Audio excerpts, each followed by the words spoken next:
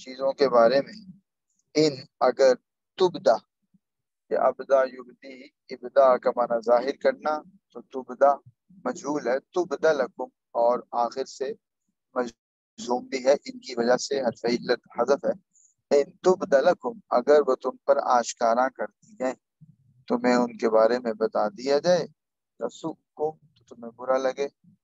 इसलिए हर चीज़ के बारे में खोज प्रेर न किया करो। शरिया काम में जहाँ शरीयत ने चीज़ को मुजबल रखा है, इजमाल रखा है तो उस इजमाल के साथ अमल करो। जहाँ तफसील बयान करती है, जितनी तफसील बयान की है, उतनी तफसील पर चलो। जैसे बनी इसराइल से कहा कि गाय जिबा कर दो। मुतलकन था, कोई भी गाय जिबा कर देते तो वो हुक्म पूरा हो जाता। वो खोज करते रहे, उसकी तफ्तीश करते रहे, उसके अंदर से और हुक्म उनके लिए सख्त होता रहा। वह तसलु अनहा, और अगर तुम पूछो अनहा चीज़ों के बारे में उस वक्त, जिस वक्त युनजल कुरान कुरान नाजिल किया जा रहा है तुम दलकुम तो तुम पर आशकारा कर दी जाएँगी। यानी ऐसे मौके पर अगर पूछोगे जब वही भी आ रही है तो मामला खोल दिए जाएँगे और हो सकता है आका में तुम्हारे लिए मुश्किल पैदा हो जाएँगी अफल्लाहा अल्लाह ने माफ़ कर दिया उनके बारे में। यानी तुम्हारी पिछली बहुत सारी लफ्जिशें माफ़ कर दी हैं। वल्लाहु गफूर और अल्लाह बहुत बख्शने वाला है, हलीमुन, बुर्दबार है। यानी फौरी तौर पर सजा नहीं देता, बल्कि इंसानों को मोहलत देता है कि वो पलट आए और तोबा करने। कद सअलहा बिलाशुबा चीज़ों के बारे में पूछा था। कौमुन, कौम ने बिन कबलिकुम तुमसे पहले। असबहू, फिर वो हो गए बिहा उन्हीं चीज़ों के बारे में, काफिरी इनकार करने वाले। पहले पूछा, जब हुक्म मुख्तलिफ़, मुश्किल हो गया तो फिर इनकारी बन गए काफ़ी बन गए। माजा मिन बहीरतिन। अल्लाह ने नहीं बनाया। मिन बहीरतिन, किसी बहीरा जानवर को। ये नीचे हाशे में तफसील आ रही है, उसको बाद में पढ़ते हैं। वला साहिबा और ना ही अल्लाह ने कोई साहिबा बनाया। वला वसीला, ना ही कोई वसीला। वला हाम, ना ही कोई हाम। अब ये क्या है? ये जमाना जाहिलियत के मुशकिन के रखे हुए नाम है। बहीरा उस जानवर को कहते थे, जिसके कान चीर कर उसका दूध बुतों के नाम पर वक्फ कर दिया जाता था। यानी कान चीर कर समझते थे कि ये जानवर मुकदस हो गया। जैसे पीछे पाँचवें पारे के आखिरी रुकू की, आखिरी पाओ के पहले रुकू में आया कि शैतान ने कहा कि मैं इनको बरांगिफ्ता करूँगा। वाला आजान ये जो के चीरेंगे और उन्हें मुकदस समझेंगे। यानी ऐसा इनको बेवकूफ़ बनाऊँगा। तो बहीरा उस जानवर को कहते थे। साहिबा वो जानवर था जो बुतों के नाम करके आज़ाद छोड़ दिया जाता था और उससे किसी किस्म का फ़ायदा उठाना हराम समझा जाता था। वसीला उस ऊँटनी को कहते थे जो लगातार माता बच्चे जने बीच में कोई नर न हो। तो के नाम छोड़ देते थे और हम वो नर ऊँट होता था जो एक खास तादाद जुफ्ती कर चुका हो और उसे भी भूतों के नाम पे छोड़ दिया जाता वलाकिन कफरू, लेकिन ये काफ़ी लोग हैं। यफ्तरूना, जो अल्लाह पर अल्लाह ही अल्लाह पर बांधते हैं अलकदी व झूठ। व अक्सर और इनमें से अक्सर, ला वो अकल और शोर नहीं रखते वहीदाकील और जब इनसे कहा जाता है तालो आओ, इला मा, उसकी तरफ़ अनजल अल्लाह, जो अल्लाह ने नाजिल किया रसूल पैगंबर की तरफ़। कालू तो ये कहते हैं हसबुना काफ़ी है हमारे लिए। माँ वो कुछ वजदना पाया है हमने, आले ही जिस पर आबा आना अपने अबाजात को। जिस तरीके ज़िंदगी पर हमने अपने अबाजात को पाया वही हमारे लिए काफ़ी हम उसी पर चलेंगे। अवलऊ का आना भला, लऊ का आना अगर आबा उम इनके अबाजात किसी चीज़ को ना जानते हो। वला या तदून और वना ही सीधे रास्ते पर हो। तो क्या भला ये फिर भी उनकी बात मानेंगे, उनके पीछे चलेंगे? या आमनु ईमान वालो, अलैकुम अनफुसकुम अपना, अपनी फ़िक्र करो। अलैकुम, तुम पर है अनफुसकुम तुम्हारी अपनी जातें यानी मुराद ये है कि अपनी फ़िक्र करो। ला यजुर्रुकुम। ला यजुर्रुकुम। तुम्हें नुकसान नहीं पहुँचा सकते। मन, वो जल्ला। जो गुमराह हो चुका है।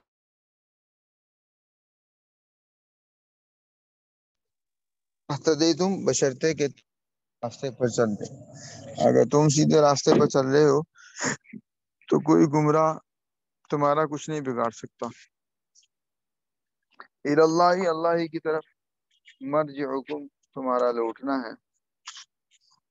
सुम्मा फयुनब्बिउकुम, फिर वो तुम्हें बताएगा बिमा कुंतुम तामलून, जो कुछ तुम किया करते थे।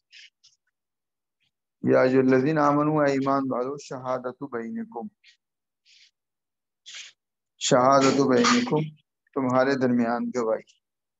इजा जब हजरा, वक्त आ दे अहदकुम, तुम में से किसी का, अलमौत, मौत का वक्त।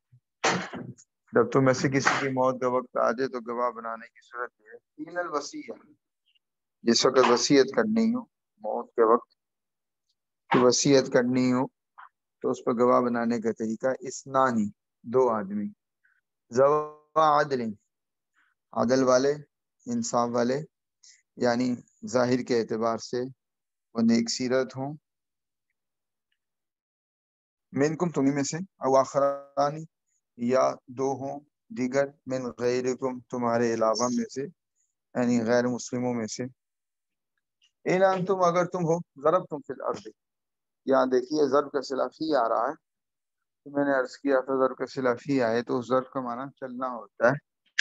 इन तुम, जरब तुम फिल अर्द अगर तुम ज़मीन में चल रहे हो और आदिया कि तुम सफ़र पर हो। फासाबत कुम फिर तुम्हें आप पहुँचे। मुसीबत मौत की मुसीबत।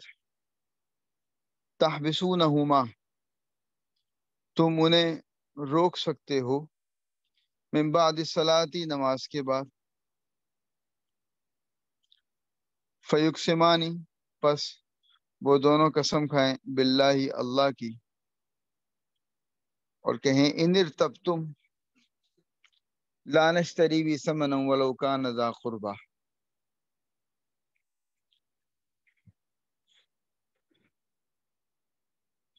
इन तब तुम, अगर तुम्हें शक पड़ जाए, इरताब इरताबू रैब से है, जैसे लारी बफी है इन तब तुम, अगर तुम्हें शक पड़ जाए तो वो कसम खाकर कहें, ला नश्तरी, कि हम नहीं लेना चाहते भी इसके बदले में समनन। कोई इस कीमत यानी कोई दुनियावी फ़ायदा, वलऊ काना, अगरचे वो हो, जा कुर्बा, रिश्तेदार। यानी हमारे करीबी रिश्तेदार के मामला क्यों ना हो, हम तब भी इसके ज़रिए कोई फ़ायदा हासिल नहीं करना चाहते। वलानक तो मुशाहदत अल्लाह ही और हम नहीं छुपाते अल्लाह की गवाही। इन्ना इजन, इस सूरत में इजन, यानी उस सूरत में अगर हम गवाही छुपाएँ लमिन आसिमीन तो हम गुनागारों में से होंगे। फ़ैन उसीरा, अगर पता चले, अला नहुमस्तहक्का इसमन, के इस्तहक्का कि उन दोनों ने इस्तहक्का इसमन, वो दोनों गुनाह के हकदार हुए हैं, यानी उन्होंने गुनाहों का बोझ उठा लिया झूठ बोलकर। फ़ाखरानी तो दो और लोग, यकूमानी, वो दोनों खड़े हों। मकाम उन दोनों की जगह। मिनल्लजीना, उन लोगों में से। इस्तहक अलैहिम इस्तहक अलैहिमुल अवलयानी, अवलयान पहले। पहले दो ने, पहले दो ने जिनके खिलाफ, अलहिम, उनके खिलाफ इस्तहक का, गुनाह का बोझ उठाया था। यानी जिनके खिलाफ पहले दो ने झूठ बोलकर गुनाह का बोझ उठाया था तो उनकी जगह पर अब दो और आदमी खड़े हों। फयुकसिमान बिल्लाही पस वो कसम खाएँ अल्लाह की। लशहादतुना, और कहें कि हमारी गवाही अहक मिन शहादती माँ उनकी गवाही के मुकाबले में अहक ज़्यादा सच्ची है। वमा अतदीना और हमने कोई ज्यादती नहीं की। इन्ना अगर हम ऐसा करेंगे इज़मिन तो हम ऐसी सूरत में, हम ऐसी सूरत में जालिमों में से होंगे। अब ज़रा ये मैंने लफ्जी तर्जमा किया है, जितना मफहूम हो सकता था। तर्जमे के दौरान वो मैंने अर्ज़ किया है। अब हाशिया नंबर तिहत्तर देखिए, अगले सफ़े पे मैंने अगला सफ़ा पलटाया है। ये आयात एक ख़ास वाक़े के पस मंज़र में नाजिल हुई है। वाक़ यह है कि एक मुसलमान जिसका नाम बुदैल था, तिजारत की गर्ज से अपने दो साथियों, ईसाई साथियों, तमीम और अदी के साथ शाम गया। ये तमीम और अदी है, यह तमीमदारी हैं। ये उस वक़्त मुसलमान नहीं हुए थे, ईसाई थे। वहाँ पहुंचकर वो बीमार हो गया और उसे अंदाज़ा हो गया कि वो बच नहीं सकेगा। चुनाचे उसने अपने दोनों साथियों को वसीयत की कि मेरा सारा सामान मेरे वारिसों को पहुँचा देना। साथ ही उसने ये होशियारी की कि सारे सामान की फहरिस्त बनाकर खुफिया तौर से उसी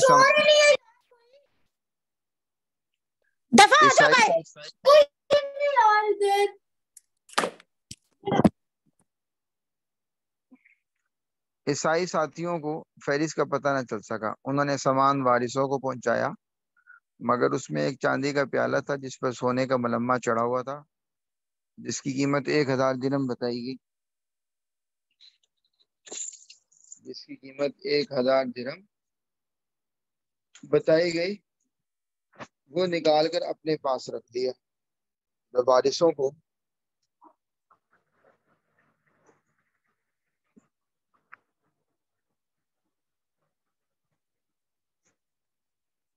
जब वारिसों को बुदैल की बनाई हुई फहरिस्त सामान में से हाल लगी तो उनको उस प्याले का पता चला और उन्होंने तमीम और अदी से मुतालबा किया। उन्होंने साफ़ कसम खा ली कि हमने सामान में से कोई चीज़ ना ली है, ना छुपाई है। लेकिन कुछ अरसे के बाद बुदैल के वारिसों को पता चला कि वो प्याला उन्होंने मक्का मुकरमा में एक सुनार को फरोख्त कर दिया इस पर तमीम और आदि ने अपना मौक़ बदला और कहा कि दरअसल ये प्याला हमने बुदैल से खरीद लिया था। और चूँकि खरीदारी का कोई गवाह हमारे पास नहीं था इसलिए हमने पहले इस बात का ज़िक्र नहीं किया। बनाने के लिए बर्तनों के लिए कोई और चीज़ नहीं पड़ेगी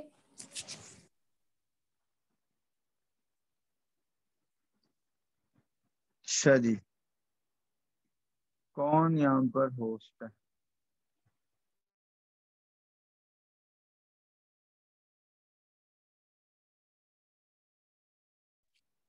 जी साची मैंने कर दिया, अभी ऑल म्यूट कर दिया मैंने। जी, ठीक है।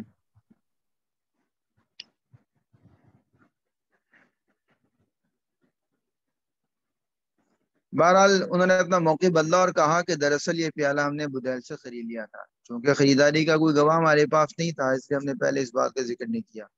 अब चूँकि वो खरीदारी के मुद्दई थे और मुद्दई पर लाजिम होता है कि गवाह पेश करे और ये पेश ना कर सके। तो कायदे के मुताबिक वारिसों में से बुदैल के करीब तरीन दो अजीजों ने कसम खाई कि प्याला बुदैल की मिल्कियत था और ये ईसाई झूठ बोल रहे हैं। इस पर हज़रत वसल्लम ने उनके हक में फैसला कर दिया और ईसाइयों को प्याले की कीमत देनी पड़ी। ये फैसला उसी आयत करीमा की रोशनी में हुआ, जिसमें इस किस्म की सूरत हाल का एक आम हुक्म भी बताया गया ठीक है जी? ये है वो पस मंजर जो इस इन दो आयतों के अंदर आ रहा है। एक तो पहली बात ये की गई इन दो आयतों में। अब दोबारा देखिए तर्जमा, ताकि अब इस पस मंजर के साथ हम आयत के तर्जमे को समझें। या लदीन आमन ईमान वालो, शहादत बैनकुम तुम में आपस में गवाही। इजा जब हजर आहदकुम तुम में से किसी की मौत का वक्त आ जाए तो अब गवाही कैसे देनी है? हीन वसीयती। अब गवाह कब बनाना है? वसीयत के वक्त। इसनानी, किसको गवाह बनाना है? दो आदमी। जवा आदिल मिनकुम, जो तुम में से आदिल हो। अव आखरानी, या दूसरे कोई हो मिन गैरुकुम, जो तुम्हारे अलावा है, यानी कोई गैर मुस्लिम है। इन तुम जरब तुम फिल अर्जी, अगर तुम सफ़र पर हो। फ़ासाबत को मुसीबत मौत, तुम्हें मौत की मुसीबत आ पहुँची। यहाँ सिर्फ़ इतनी बात कही जा रही है कि अगर किसी को सफ़र के दौरान या किसी अजनबी जगह में, ठीक है गरगरा मौत आ रहा है, ठीक है, तबीयत इतनी ख़राब हो गई है, वो समझता है कि मुझे वसीयत करनी चाहिए तो वो उस पर दो गवाह बना दे। सलाती। अब नमाज़ के बाद का तस्करा मुफसरीन के यहाँ इसलिए है कि एक तो उस खास पस मंजर में ऐसा किया गया कि असर की नमाज़ के बाद उनको खड़ा किया गया। मुराद है मजमा आम इतला बिल्ला वो दोनों अल्लाह की कसम खाएँ इन तब तुम, अगर तुम्हें शक है तो वो कसम खाएँ। लानश्तरी भी समन कि हम ये जो दवाई, गवाही दे रहे हैं, इसके बदले में हम कोई दुनिया का फ़ायदा नहीं चाहते। वलोकान ज़ाकुरबा अगरचे वो हमारा करीबी रिश्तेदारी क्यों ना हो, यानी कोई फ़ायदा उसको पहुँच रहा हो, ऐसा नहीं चाहते हम। वलानक तुम शहादत अल्लाह ना हम गवाही छुपाएँगे। इन्ना आसिमीन, अगर हम ऐसा करें तो हम गुनागार हों। अब अगली बात, फ़ैन उसी राह।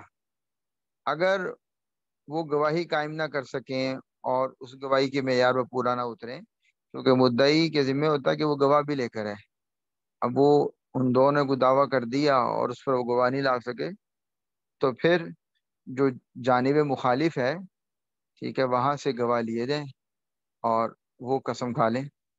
फ़ैनूसी रहा, अगर ये बात पता चल गई अलास्तका इसमन, कि उन दोनों ने गुनाह का बोझ उठाया है, यानी झूठ बोला है। तो आखरानी यकूबानी मकाम तो दूसरे दो उनकी जगह पे खड़े हों। मिनल्लदीन उन लोगों में से इस्तक आलिमयानी कि जिनके खिलाफ पहलों ने गुनाह का बोझ उठाया है। यानी दूसरी जानब के, दूसरे गिरोह के लोगों में से दो आदमी खड़े हों। फ़युक्समान बिल्ला वो कसम खाएँ। लशादतना, यानी वो कसम खाएँ, क्योंकि मुद्दा आले पर कसम होती है।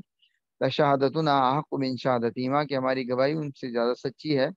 वमा अतदीना, और हमने कोई ज़्यादा नहीं की। इन्ना ज़ालिमीन, अगर हम ऐसा करें तो हम जालिम हों। जालिका अदना भी शहादती, अला वजिया जालिका अदना अदना के दो माना होते हैं, एक अदना दनिया से होता है, दनिया का माना होता है घटिया, और दूसरा अदना दुनूफ से होता है, दुनूफ का माना होता है करीब, ऐसे दुनिया को भी दोनों माना में लिया जाता है, दुनिया अदना की मुहदस है फ़ला के वज़न पर, अदना अफ़ाल का वज़न है, इसमें तफजील है तो दुनिया को भी दुनिया दोनों मुनासबतों से कहा जाता है कि वो आखरत के करीब है बस, इंसान को तो लग रही है ना कि बड़ी तवील ज़िंदगी है तो आखरत के मुकाबले में दुनिया की जो मुद्दत तो थोड़ी सी है तो बस उस मुकाबले के लिहाज से दुनिया बिल्कुल करीब है। या दुनिया दुनिया से है कि आखरत के मुकाबले में घटिया सी चीज़ है, उसकी कोई हैसियत नहीं। असल में यार आखरत है। तो यहाँ कुर्ब का माना है जुनूब का माना है। जालिका अदना, इसमें ज़्यादा इस बात का इम्कान है, इस बात की ज़्यादा उम्मीद है, इस बात का ज़्यादा ख्याल है अया तू बिशहादती। अब अतायाती का वैसे माना तो आना होता है, आगे बा के साथ मुतादी हो रहे। अया तू के वो लाएँ, बेशहादती गवाही दें। अलावजिया उसके तरीके पर, यानी ठीक ठीक गवाही दें। अव यखाफू, या वो डरें इस बात से अंतरद ईमान कि उनकी गवाहियाँ लौटा दी जाएँगी? बाद ईमान उनकी गवाहियों के बाद। यानी अगर उन्होंने गलत गवाही दी तो उनकी गवाही को रद्द कर दिया जाएगा, ठीक है? ये नहीं कि जो भी गवाही देते वो गवाही मान लीजिए, बल्कि काजी उस गवाही की सूरत हाल का जायजा लेगा, बल्कि कदीम फुकाहा से मनकूल है कि कुजात जो थे कादी जो हुआ करते थे, वो रात को भेस बदल कर मुख्तलिफ़ इलाकों में जाकर गवाहों की तादील किया करते थे, छानबीन किया करते थे कि गवाह वाक़ता कैसा आदमी है। तो कहो ये खाफू कि कम अज कम उन्हें अंदेशा हो इस बात का ईमान बाद ईमानी, के उनकी गवाही के बाद उनकी गवाही को लुटा दिया जाएगा। वतकुल्लाह अल्लाह से डरो, वसमाऊ और बात सुनो, यानी सुनो और फिर अमल करो। वल्लादिल कौमल फासिकीन और अल्लाह ताला फासिक लोगों को हिदायत नहीं देता, उन्हें मंजिल मकसूद पर नहीं पहुंचाता, जो फासिक होते हैं, फिस करते हैं, नाफरमान होते हैं। अगली आयत मुबारक से लेकर इस सूरत की आखिरी आयत तक अब ईसा सलाम का तस्करा है। कुछ तस्करा तो वही है जो हमने तीसरे पारे में पढ़ लिया। कुछ तस्करा और है जो माइदा के हवाले से, दस्तरखान के हवाले से मैंने इस सूरह के शुरू में अर्ज़ किया था कि इस सूरह का नाम माइदा इस वजह से है कि इसमें ईसा सलाम के भी ये दस्तरखान का तस्करा है। जैसे मूसा सलाम की कौम पर अल्लाह ताला ने मनसलबा उतारा तो ईसा सलाम के साथियों ने भी आसमान से दस्तरखान का मुतालबा किया था, वो अल्लाह ने पूरा किया। और उसके बारे में रिवाया ज़्यादा तफसी ने बयान करती। पुराने हकीम ने ज़्यादा उसकी वजाहत नहीं की, लेकिन दस्तरखान का तस्करा है। उसके बाद क़्यामत के रोज़ ईसा सलाम से अल्लाह ताला जो सवाल जवाब करेंगे, उसका तस्करा है। इस सूर मुबारक के आखिर में आज के सबक यहीं तक रखते हैं। इनशाला कल हम इन दो रुकू को पढ़ेंगे। असलकम वरहमल